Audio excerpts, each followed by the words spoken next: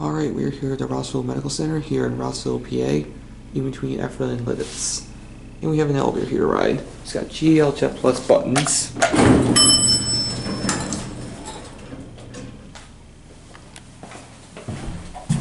Let's go to three.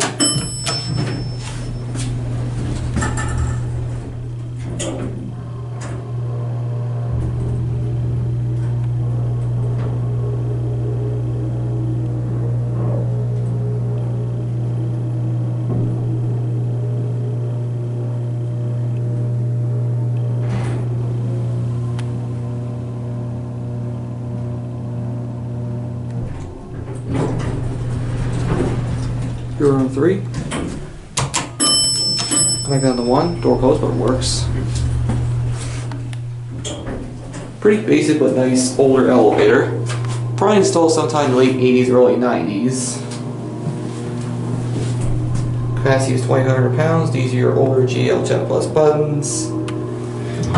It's got a phone in there. There's certificate. This building is owned by Wellspan Health. Not sure the brand of this elevator, but probably assume it's a Lancaster elevator. Anyways, here we're back at the first floor. There's your directory. And there goes the elevator, and that will be it.